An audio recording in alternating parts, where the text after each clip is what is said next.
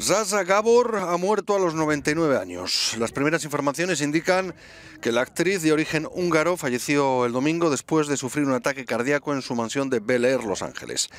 Gabor, de origen húngaro, llegó a Estados Unidos con 24 años y debutó en el cine con películas como Moulin Rouge de John Huston. Además, de, por sus películas y apariciones en televisión, Gabor también era conocida por su vida amorosa. Tuvo nueve matrimonios.